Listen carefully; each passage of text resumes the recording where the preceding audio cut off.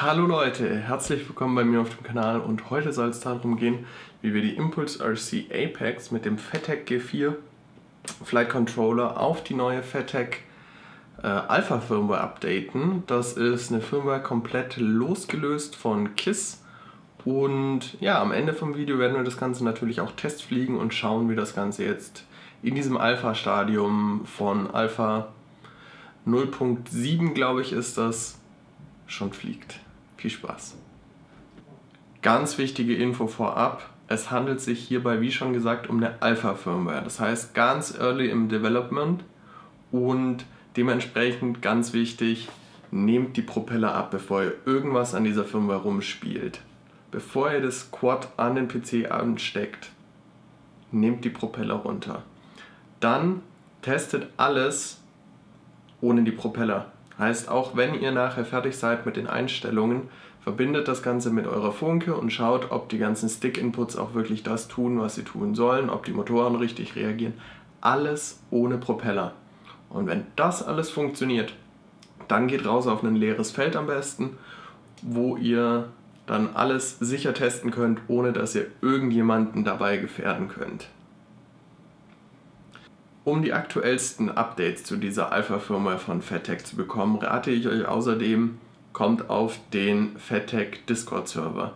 Ich weiß leider nicht, ob ich den Link dafür einfach rausgeben darf, deswegen würde ich euch empfehlen, macht das so wie ich. Schreibt einfach dem Support, ob ihr auf den Server kommen könnt und die schicken euch im Normalfall einfach den Invite-Link dafür. Auf diesem Discord findet ihr außerdem die ganzen Hex-Files, die wir für die drei Firmware-Updates vom Flight Controller, ESC und OSD brauchen. Den Konfigurator gibt es momentan als WebGUI und ihr findet den unter der Adresse gui.fatec.net.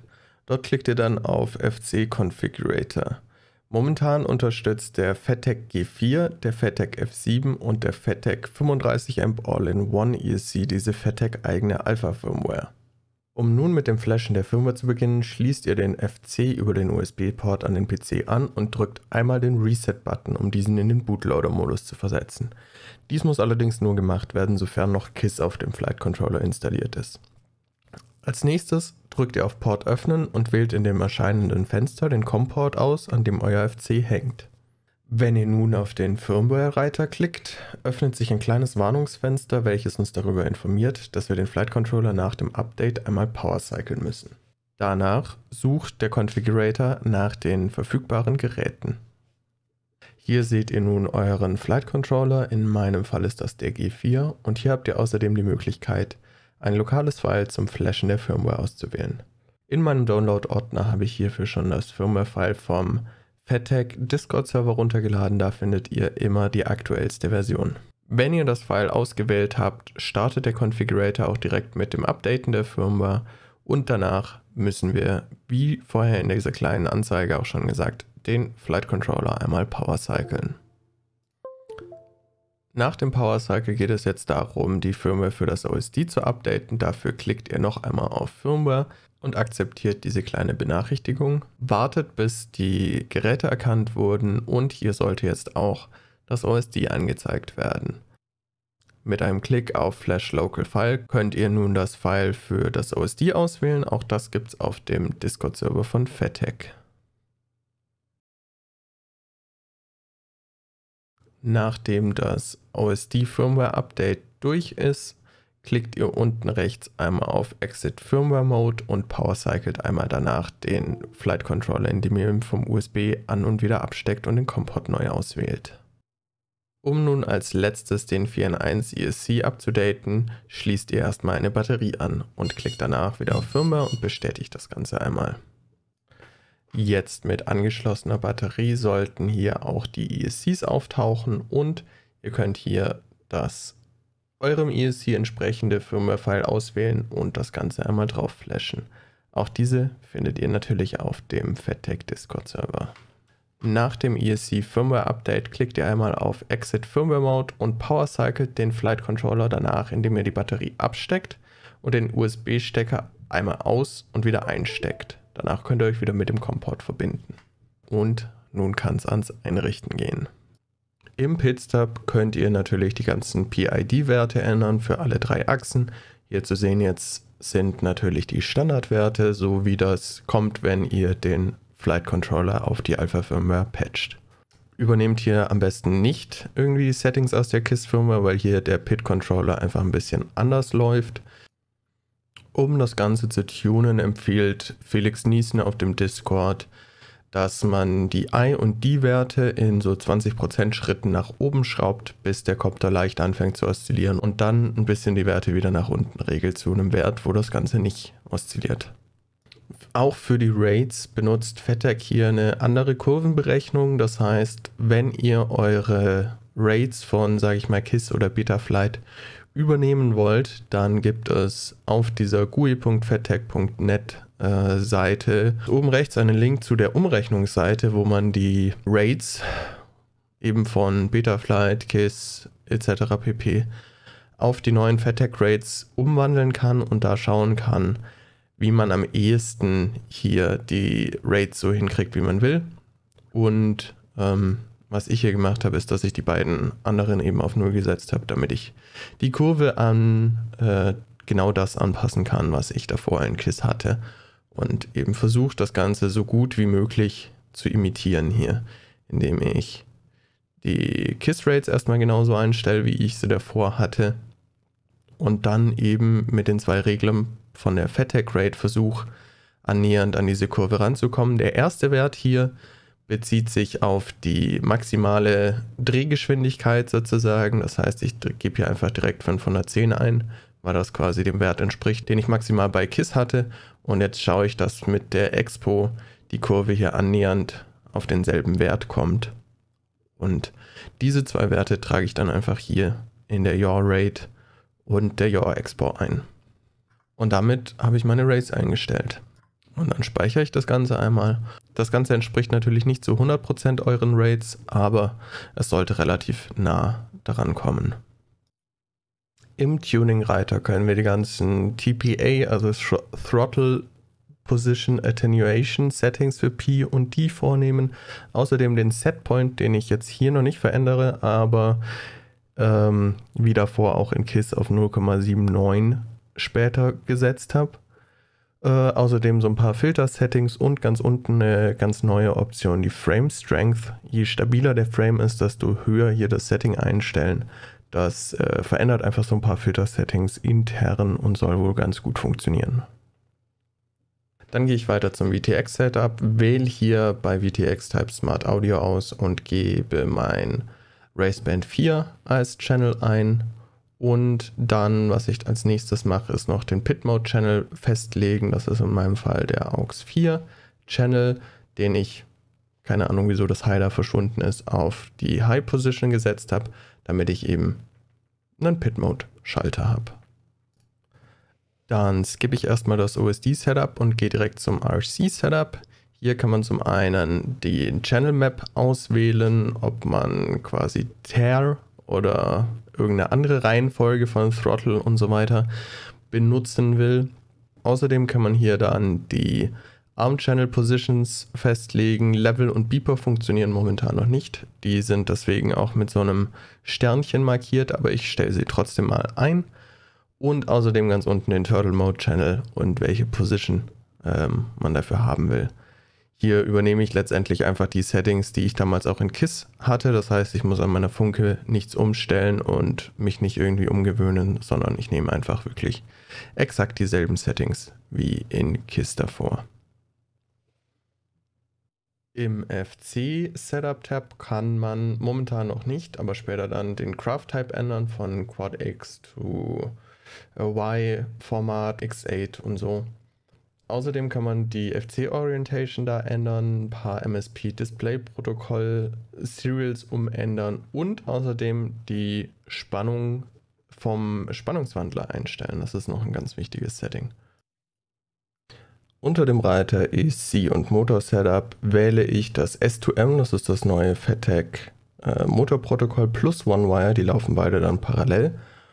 Und Prop Direction ist standardmäßig auf Out und hier kann man eben noch so ein paar andere Settings vornehmen wie Min Throttle, Die Output Map kann man verändern, das heißt, welcher Motor an welchem ESC sozusagen angeschlossen ist. Die Motor Rotation kann man hier verändern, wobei das zu dem Zeitpunkt noch ein bisschen verbuggt war, was die Slow Startups angegangen ist. Dementsprechend habe ich das dann über den ESC Configurator gemacht. Und bei Motortest können mit angeschlossenem äh, Akku die Motoren auch nochmal getestet werden, ob die äh, drehen und eben richtig rumdrehen, ähm, indem man hier einfach das Yes aktiviert und dann fängt der Motor ganz langsam an zu drehen. Und so können eben ganz leicht die Drehrichtungen kontrolliert werden. Hier natürlich auch dran denken, wie auch schon oben steht, unbedingt die Propeller entfernen, bevor man hier irgendwie was macht. Okay, dann kommen wir jetzt zum OSD-Setup. Wenn man oben auf OSD klickt, kann man hier die einzelnen Elemente rumschieben, so wie man das vielleicht auch aus Betaflight gewöhnt ist. Das heißt, man kann die einzelnen Elemente einfach hier so greifen und rumschieben. Das wird auch sofort äh, in der Brille geupdatet, wenn man das äh, anschauen will. Und kann dann dadurch die Positionierung nochmal ganz genau anpassen, weil hier dieses Feld nicht unbedingt eins zu eins äh, von der Größe her passt, wie man das vielleicht in der Brille hat. An sich ist es 4 zu 3, aber vielleicht passt es halt trotzdem nicht zu 100 Prozent. Ich glaube, bei mir war die unterste Linie so ein bisschen abgeschnitten. Das heißt, ich habe das Ganze einfach noch ein Stückchen dann nach oben gezogen am Ende.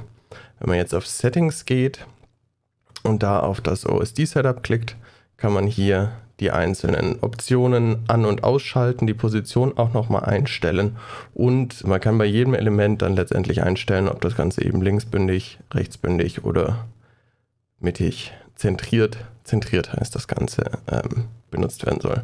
Bei OSD-Text kann man eben eingeben, wie der Text unten aussehen soll, was, was da eben stehen soll.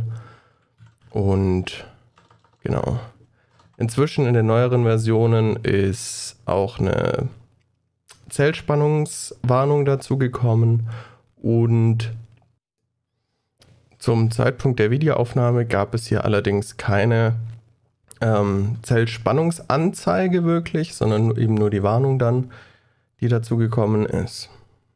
Im Signalreiter könnt ihr wie in Betaflight im Receiver-Tab schauen, ob die ganzen AUX-Channels von eurer Funke auch wirklich das machen, was sie tun sollen und ob das Channel Mapping auch in der richtigen Reihenfolge ist. Das heißt, ob Yaw auch wirklich Yaw ist, Roll wirklich Roll, Pitch wirklich Pitch und Throttle wirklich Throttle.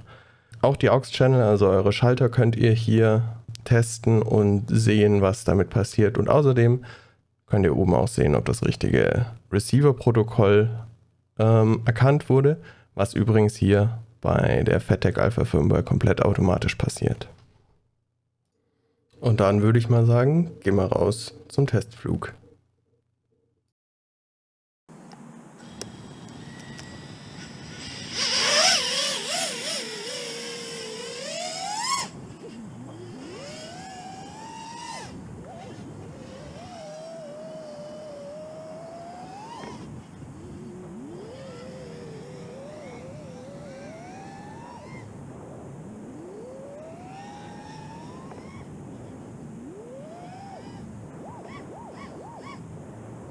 Bisschen Bobbles.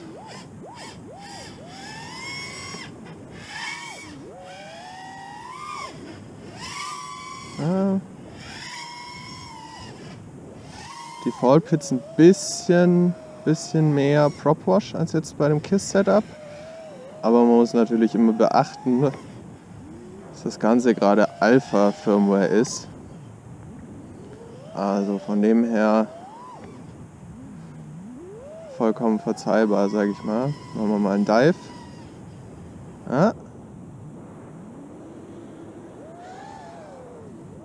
Da war gerade irgendwas, als ich oben, ja, da bobbelt es ein bisschen. Da. Wenn ich oben vom Gas weggehe, nach einem Climb,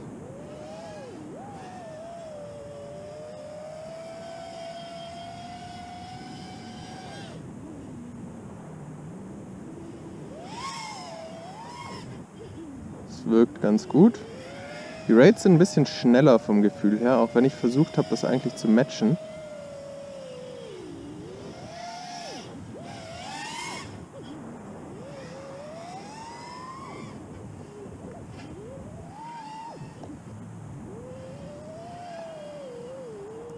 Ja, also die Fault Pits sind nicht so ganz smooth wie, wie jetzt bei KISS.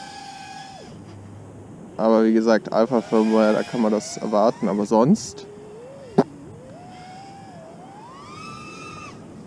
Ja, wenn ich vom Gas runtergehe, das, das, da bobbelt es am meisten.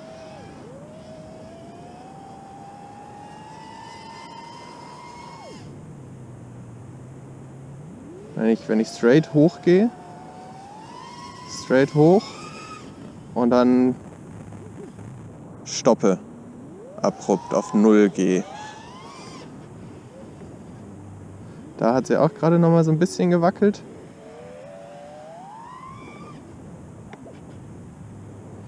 Dieses abrupte auf 0, da zappelt es ein bisschen. Und sonst hier auch in den Drehungen gerade.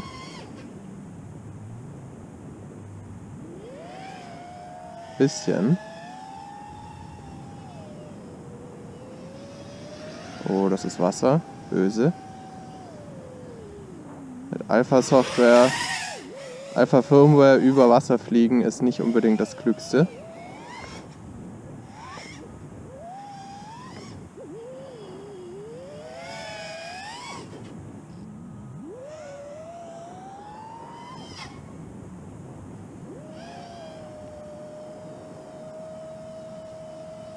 Mal schauen, was da gerade vibriert hat.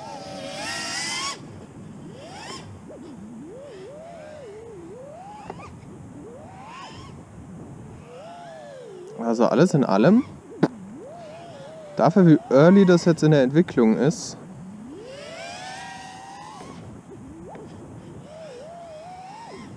taugt mir das schon echt gut. OSD fehlt mir, wie gesagt, oder wie, wie ich auch schon in den, in den Feature Requests gesagt habe, fehlt mir noch das äh, Individual Cell Voltage Ding. Aber sonst. Respekt, Felix. Respekt.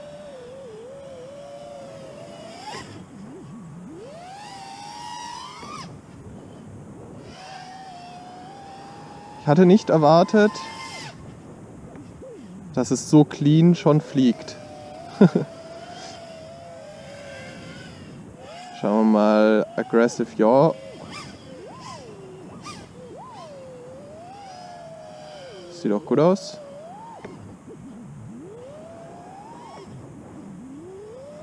Ja, so ein bisschen Bounceback.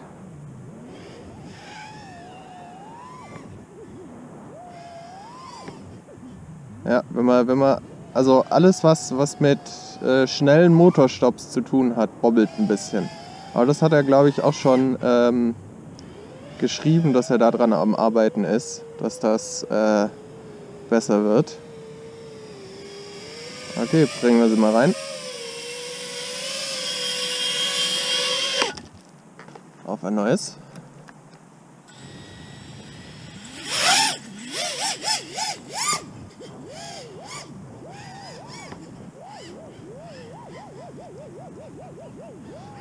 Da bobbelt sie bei den... Ja, das hat er wie gesagt schon gesagt, dass er daran arbeitet.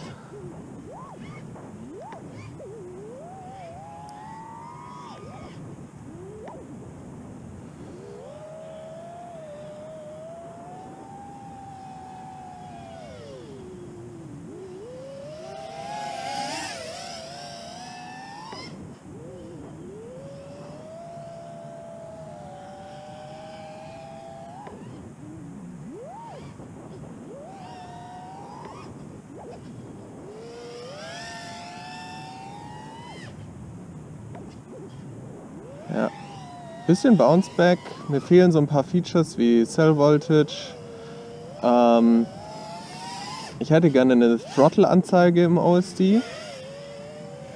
Finde ich immer ganz nützlich zu haben.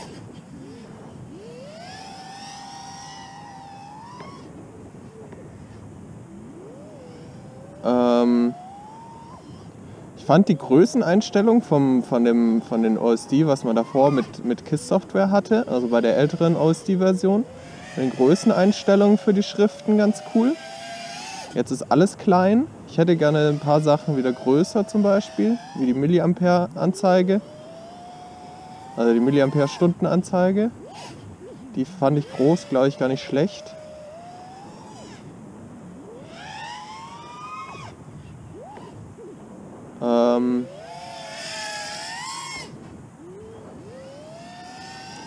Aber es fühlt sich schön smooth an sonst, bis auf wie gesagt halt diese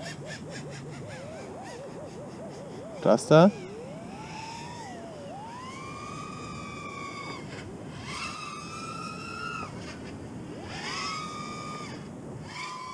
Ist okay. Könnte deutlich schlimmer sein. Was so Default Prop Wash angeht.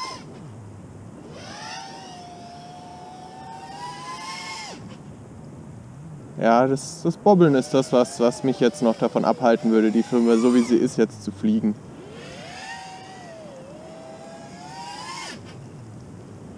Weil, holy shit, es fliegt sich halt jetzt schon clean.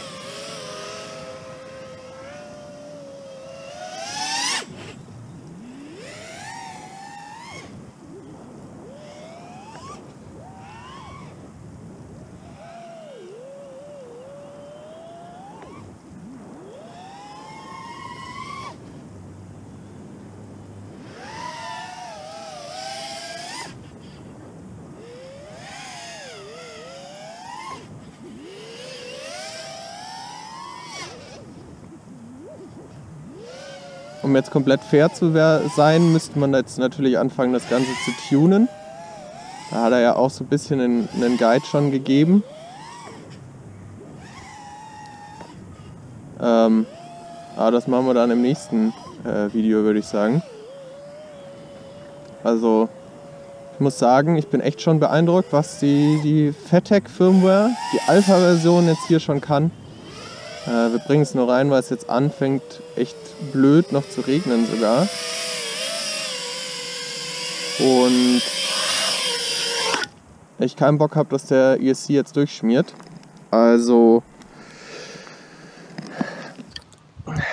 ich bin wirklich schon mal beeindruckt, was die FATEC Firmware jetzt schon kann und bin sehr gespannt, was da in der Zukunft noch kommt. Und ich werde da auf jeden Fall dranbleiben und das immer mal wieder austesten, wenn da neue Versionen rauskommen und euch das Ganze dann äh, zeigen. Danke fürs Zuschauen und bis zum nächsten Mal. Tschüss.